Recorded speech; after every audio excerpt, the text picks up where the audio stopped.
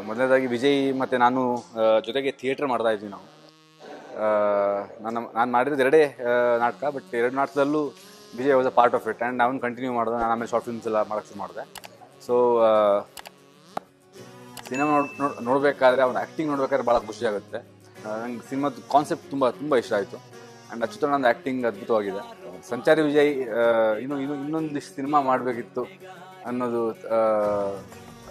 ಥರ ಅನ್ಸುತ್ತೆ ಸಿನಿಮಾ ನೋಡ್, ನೋಡಬೇಕಾದ್ರೆ. Wish he was there you know when you watch the but otherwise it's great concept and Kannada ಸಿನಿಮಾಗಳು ಇವಾಗ ಥಿಯೇಟ್ರಿಗೆ ಬರ್ತಾ ಇದೆ. ದಯವಿಟ್ಟು ಎಲ್ಲರೂ ಥಿಯೇಟ್ರಿಗೆ ಬಂದು ಸಿನಿಮಾ ನೋಡಿ